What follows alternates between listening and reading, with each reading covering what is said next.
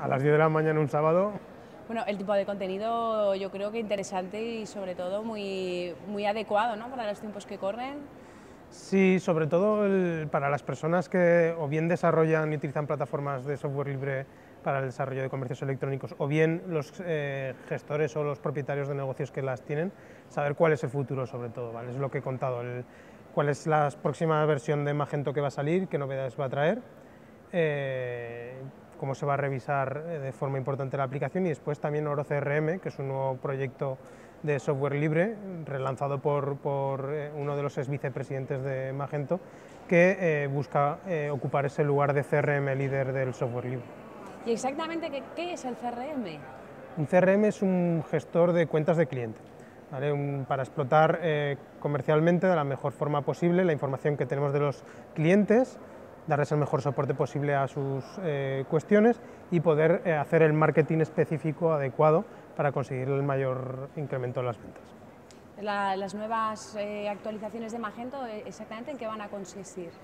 Pues Magento bueno, va a llevar una serie de actualizaciones en su, en su versión actual, que es la 1, que van a ir con el objetivo de incrementar alguna funcionalidad o, mejorar algún proceso, y paralelamente va a lanzarse la versión 2, que rediseña completamente la, aplicación, va a buscar una simplificación y un mejor manejo para, para el usuario del panel de administración, va a suponer también simplificaciones internas que va a hacer que vaya más rápido, que mejore la performance, que, em, que los recursos eh, que exige el software sean algo menores y por lo tanto se supone que va a intentar vencer esas barreras que tiene ahora mismo las versiones actuales. En qué se tiene que fijar una empresa para, para seleccionar una herramienta ¿no? a la hora de, de hacer una tienda que se adecue realmente a sus necesidades? Bueno, pues tiene que fijarse primero en la naturaleza del producto, productos que, tiene, las necesidades que va a tener de integrar con otras aplicaciones y, el volumen total de tráfico que va a tener. Yo creo que son las tres fundamentales. La naturaleza del producto pues puede eh, alterar la decisión, pues por ejemplo no es lo mismo vender un producto que envías, un producto estándar, que eh, vender eh, reservas a congresos que vender reservas a hoteles. no es lo mismo. Después tampoco es, em, tampoco es igual el... Tampoco es igual... Bueno. no es lo mismo el tipo de producto ni tampoco los tipos de, los tipos de eh, volumen de tráfico. A mayor volumen de tráfico eh, tenemos que ir a soluciones más estables y que, y que, tengan un rendimiento más óptimo. Por ejemplo, Magento en, esos términos gana con respecto, con respecto a otros competidores. ¿Y, cuál es realmente la ventaja de, en vez de hacer una tienda nativa, ¿no? que, tú te desarrolles, de, utilizar pues, un Magento o, cualquier otro tipo de herramienta gestionada? Mm, las ventajas de utilizar un, CMS ya existente es, primero, que tienes una comunidad de desarrolladores más o menos amplia, dependiendo del país, pero a nivel internacional una comunidad muy amplia, tienes un soporte muy alto, mucha gente que ha hecho lo mismo, ha tenido problemas y lo escribe, o eh, mucha gente que desarrolla en ello y puede ayudarte y por lo tanto eh, no estás limitado a eh, una empresa que te presta el servicio o a unos desarrolladores internos que te lo hacen, sino que las posibilidades de explotación son más altas. Después también el ir a un CMS existente te va a permitir que si ese CMS tiene mejoras constantes, etcétera, pues implantar esas mejoras de una forma fácil y sin tener que asumir costes elevados con respecto a hacer revisiones de un software propio. Por ejemplo, ahora para pasar de Magento 1.0 al Magento 2.0 que se va a lanzar, ¿qué tendría que hacer una empresa? En principio, cuando, salga Magento, Magento 2.0, que aún, aún está en versiones de desarrollo, se supone que saldrá, yo creo que para 2014, tampoco han anunciado una fecha exacta, eh, la idea es que va a haber migración desde la Magento 1.0 más o menos completa. En principio habrá ciertas cosas como por ejemplo lo que es el diseño de, de cara al usuario, el frontend, que, sí que habrá que rediseñarlo desde el principio, rehacerlo desde el principio, pero todo lo que es los datos gestionados en la aplicación, eso pasará en principio de una a otra.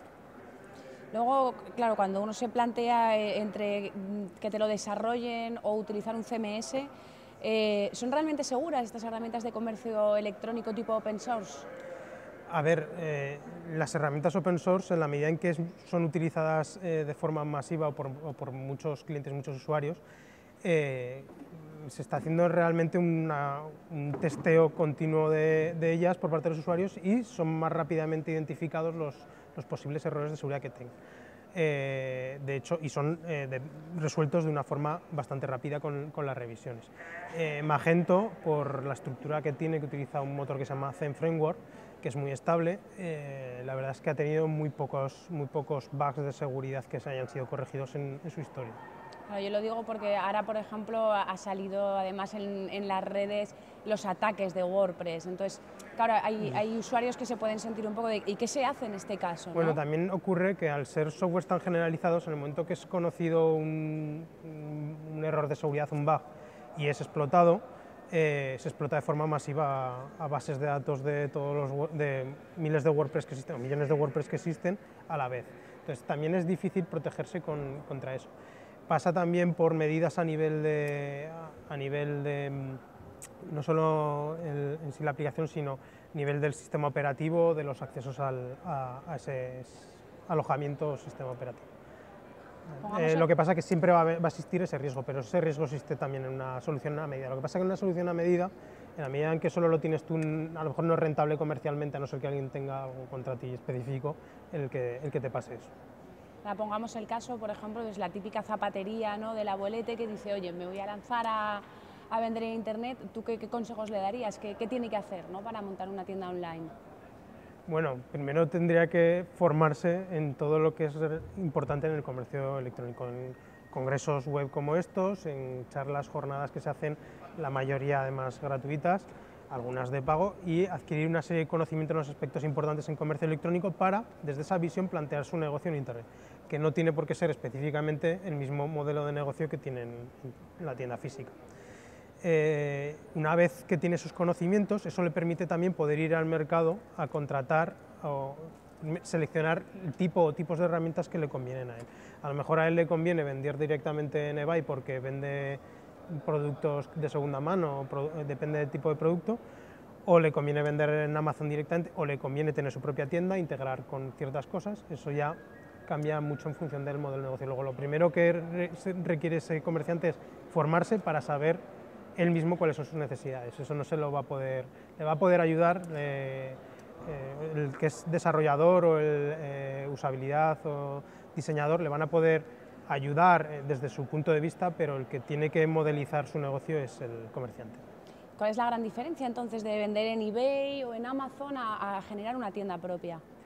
A ver, no son una sí, otra no, no son, sino que pueden ser todas a vez. Lo que tiene que hacer el usuario es ver dónde está su público objetivo, dentro de su modelo de negocio, lo que va a vender, dónde está ese potencial público objetivo y vender allí donde está. Si ese público objetivo solo está en eBay, solo venderá en eBay. Si ese público objetivo está repartido en distintas formas, que es muy, eh, ahora mismo es lo que más, eh, lo que más ocurre, eh, lo que se hace es tener una tienda propia que centraliza toda la información y eso conectado dinámicamente con eBay, con Amazon, con comparadores de precios para salir los productos, con eh, con AdWords, con Google AdWords, etc. De tal forma que eh, con una herramienta integra todo y puede tenerlo. Eso, por ejemplo, lo dan soluciones como Magento PrestaShop, de una forma, una forma bastante fácil y un precio muy adecuado con respecto a soluciones eh, privadas o a medida. Pues muchísimas gracias, Carlos.